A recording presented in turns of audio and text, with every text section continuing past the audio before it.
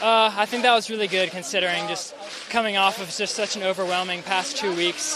Um, you know, physically recovering is one thing, but um, my mental was.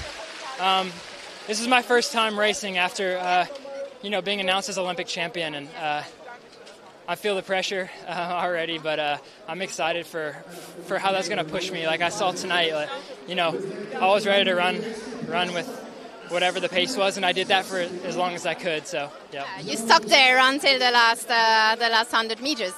Yeah, yeah. Again, I I was prepared uh, for that race, and um, to to put myself in the right position, I, I did everything I could. Um, I was just a little cooked. And how much do you think is in there for you till the end of the season? Yeah, I think now I get like a, another two weeks of where I can fully fully get my mental right, um, and you know the post people talk about the post Olympic slump, and uh, it's definitely a real thing. And so coming out here and having to put together another sub 330 effort, uh, I'm really happy with it. Wonderful. It looked very solid from here. Congratulations. Thank you.